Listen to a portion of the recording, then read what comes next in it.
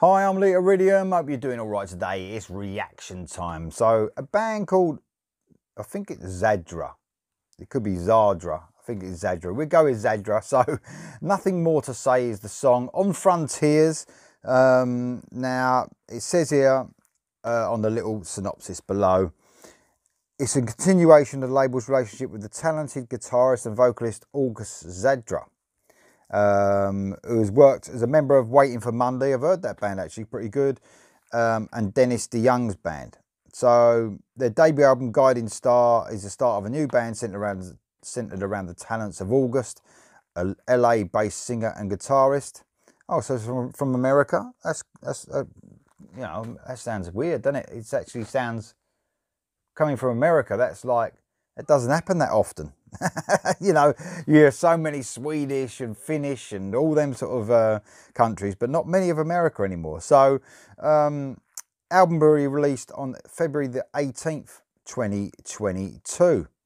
So, exciting stuff. So, without further ado, on Frontiers, Zadra, nothing more to say. Here we go.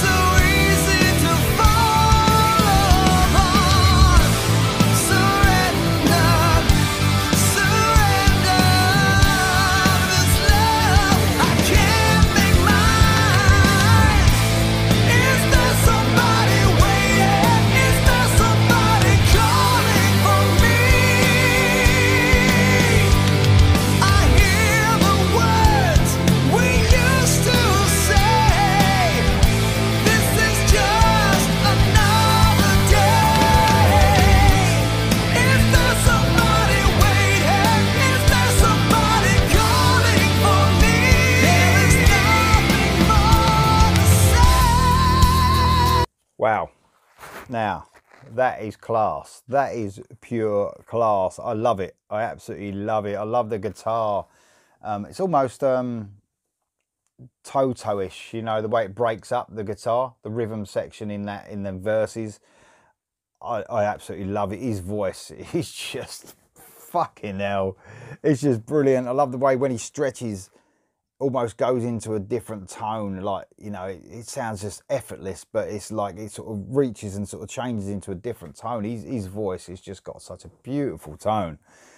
Now i don't know if you call this aor it probably is aor melodic rock. Now i mentioned the band earlier on that sound formulaic in aor i mean this is far from it. This is what exactly what you can do when you stand out when you do aor melodic rock.